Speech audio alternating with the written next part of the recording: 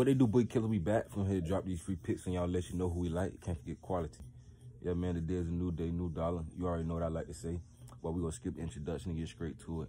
Um, yesterday I posted a video, but um, it didn't post because of a video post uh, error. And, um, I had to work all day yesterday, so I didn't have a chance to get back to my phone till once I got back home off work. I was working all day, but um, we had a clean sweep for uh, the top picks and also the leans that I gave out to y'all. Um, Blazers game over, Heat game over, LA game over, all three cash for my paid picks. Clippers uh, money line, Suns money line, Pacers run line. Um, they also came through, which was leans that I gave out on YouTube, but didn't post. Uh, baseball, we went one and three. Um,